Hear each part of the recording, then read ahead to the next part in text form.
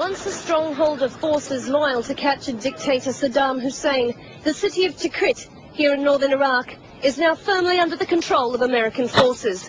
Or is it? These members of the Iraqi resistance movement, still loyal to Saddam Hussein, think otherwise. The Americans tell lies. Each day our forces grow stronger. Each day we move closer to our goal of driving the infidel... What are they? Nothing, carry on. Uh, driving the infidels from our motherland. Uh, we are not afraid to... Are they subtitles? they, they are, aren't they? No. Well, what do I need subtitles for? Can't you understand what I'm saying?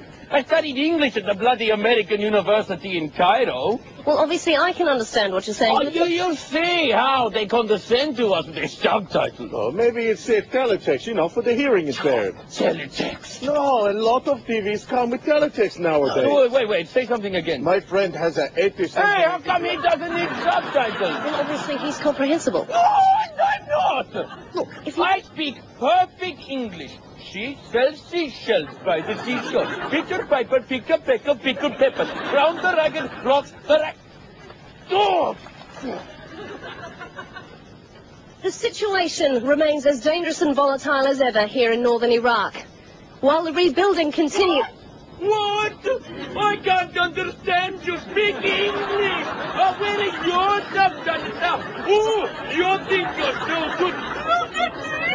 I don't have subtitles. Harry Downs, Iraq. Shut up!